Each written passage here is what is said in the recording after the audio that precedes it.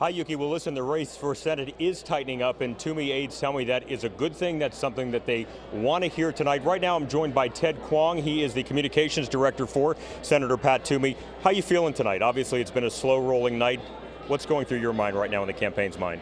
Yeah, well, it's probably going to be a long night where we're anticipating that it's going to be a good night. Uh, obviously, it's a bit early, but the, the, numbers that we're seeing come in from key precincts are very encouraging. Uh, so we're feeling very optimistic right now. Let me ask you this, Ted. Uh, Senator Toomey waited literally until the 11th hour in this election to announce his support for Donald Trump.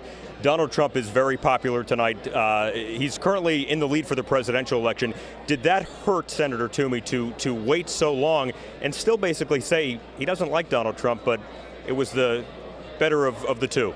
I think Pennsylvania has a long tradition of having independent senators who will stand up to either party when it benefits uh, the state. And uh, you know, Senator Toomey's been very clear about this. I think a number of Pennsylvanians and Americans throughout the country aren't exactly pleased with the two choices they have for president, but they know that Senator Toomey will be that independent voice for them in Washington.